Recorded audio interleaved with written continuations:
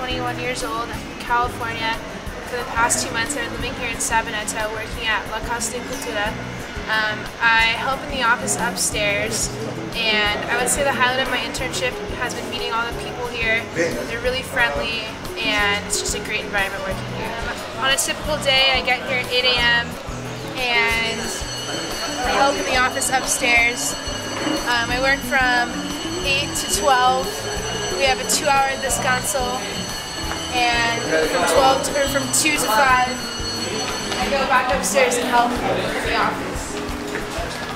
I think some of the biggest challenges I've had to overcome here were figuring out the city, you know, learning the language better, uh, working understanding people, but once you overcome everything, it, it becomes a lot easier. And the biggest advice that I would give to other interns is, you know, just let go and do, uh, follow your heart and, um, you know, talk to people, get involved in this town, meet a bunch of interns and have a good time. Before I came to Colombia, I wasn't really sure what to think. Um, I knew the history had changed a lot in the past 10 years, but I had no idea what to expect. And when I got here, I met the most loving, accepting people. Um, it's been a great time here. I've had a bunch of fun. I've traveled outside of Medellin. I've been to a few great places. I've been to Rio Claro, which is a really good weekend getaway trip. Uh, Guatapé was a lot of fun.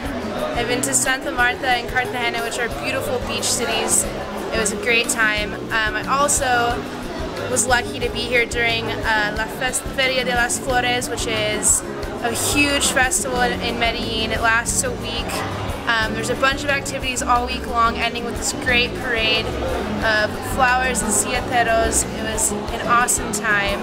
This here is the flower, the um, flower of Medellin, the national flower. Um, I saw it a lot during La Feria de las Flores, and it's beautiful, and they grow everywhere around here. Up the stairs are where the administrative offices are. There's two of them, and we also have classes up here. If you walk down the patio, make it to my office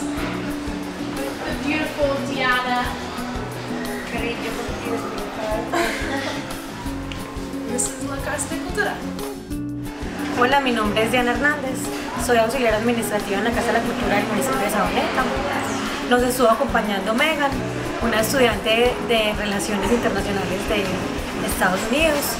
Eh, nos parece muy, inter interesante estos intercambios, ya que ella puede conocer cómo trabajamos acá en la parte administrativa y nosotros eh, enriquecernos culturalmente de su país.